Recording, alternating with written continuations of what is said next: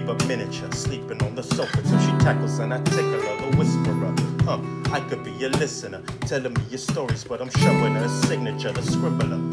Saying that she's finished, but I tell her eat a spinach and she'll see the sky's a limits trust. Cause when we're with it, I can feel it, ain't no limit. Just be free, me and my sister. I can see the skies are limitless. Huh, I feel her brush her hand across my cheek until I speak. I yawn and say good morning, keep her sweet, squeeze her deep until she giggles, starts to wriggle in the she disappears and sweeps me off my feet.